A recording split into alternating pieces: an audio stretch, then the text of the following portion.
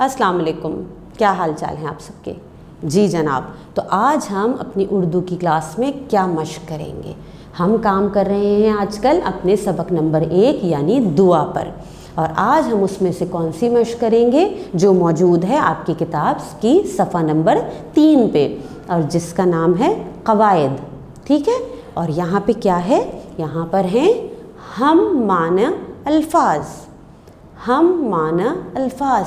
अब आप मुझे बताएँ, हम माने अल्फाज कौन से होते हैं? आपको पता है?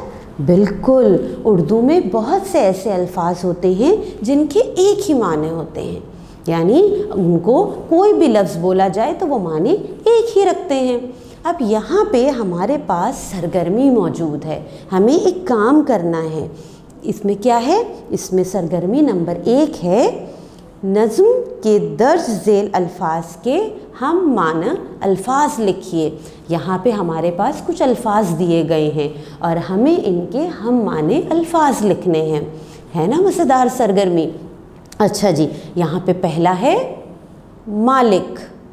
मालिक, अब बताइए ज़रा कि मालिक का हम माने अल्फाज कौन सा होगा? जिसको हम पढ़ें तो उसका मतलब भी मालिक ही हो। बिल्कुल ठीक, मालिक का है आका। आका, शाबाश। अच्छा जी, दूसरा लफ्ज़ है हमारे पास, बसीरत। बसीरत। बसीरत का हम माने लफ्ज़ है दानाई, अकल। ठीक हो गया? अच्छा जी, अब हमारे पास तीसरा है सुख। सुख। अब सुख का कोई सोचिए हम माने अल्फाज। क्या कहा? शाबाश, बिल्कुल ठीक। सुख का हम माने अल्फाज है चैन। यानी चैन का मतलब भी है, सुख। दोनों का मतलब एक ही है। अच्छा जी, फिर हमारे पास लफ्ज़ आता है रोशन। रोशन। अब रोशन का हम माने लफ्ज़ क्या होगा? बिल्कुल ठीक, शाबाश।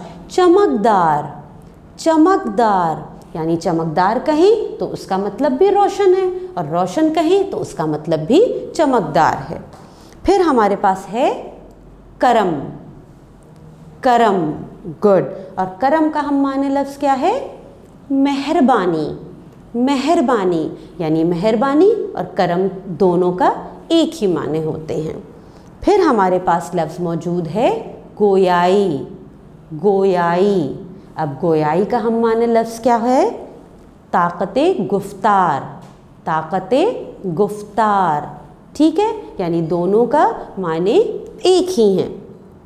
फिर हमारे पास लफ्ज़ मौजूद है वहशी। वहशी। अब वहशी का हम माने लफ्ज़ ढूंढिए कि कौन सा लफ्ज़ है जो वहशी बिल्कुल एक ही मतलब में आते हों। बिल्कुल ठीक, वहशी का हम माने लफ्ज़ है जंगली।